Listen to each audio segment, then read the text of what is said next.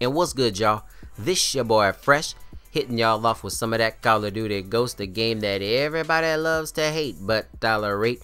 And this is Domination on the map Fog, and it was me, Stunner 420, and Borat got skills, and Borat just left us halfway through the game. He just up and disappeared. At the end of the game, I was like, yo, where's Borat? And everybody just shrugged their shoulders. He probably unplugged his PS4, set it down into the middle of his living room, and then jumped off his couch and Hulk Hogan leg dropped that bitch into a million pieces. And I'm just messing around, but he had every right to leave. He had every right to be pissed off as we went up against the ultimate camping crew, the bane of my existence when trying to attain high kill streaks, the people that are the poison of this community, the people that use all the cheese that Infinity Ward implemented into this game and they use it well. And for me, I'm just confused now as to is it the community or is it the way the people play or is it a culmination of both?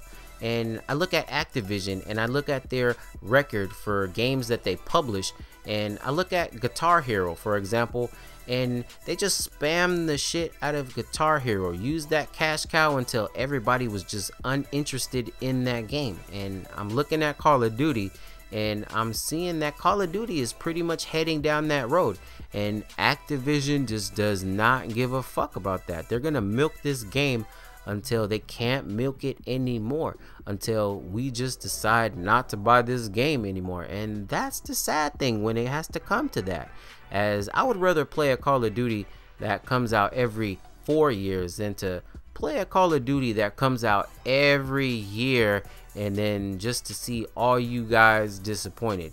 And for me, it really doesn't matter. A video game to me is just a video game.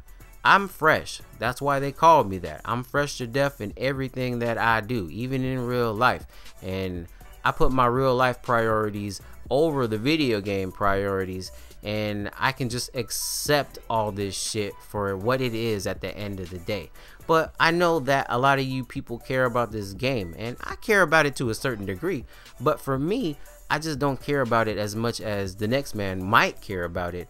As hey, I have a daughter to take care of, and all this shit could end for me at any moment. If you can understand that or respect that. And for me, I run a small channel a 375 sub channel. I run my channel like I have 200,000 subs. And a lot of people don't realize that when they look at small channels that there are not that many channels out there that are the complete package that have well thought out commentaries and high quality gameplay in the background while they're talking. And people just don't realize that because they just expect you to be good like Ali A and TmarTn just right out the gate. They expect you to be perfect out the gate. They expect you to be a robot. They expect you to be an Indian and not a chief.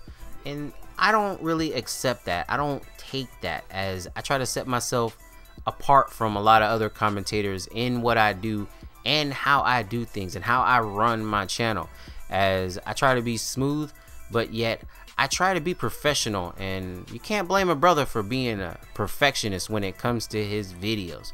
But that's just how it goes. Small channels are always going to be put down to the wayside, but hopefully some of us will blow up one day and we'll be able to voice our opinions to a mass audience. But thank you for tuning in and this is your boy Fresh and I'm out. Peace.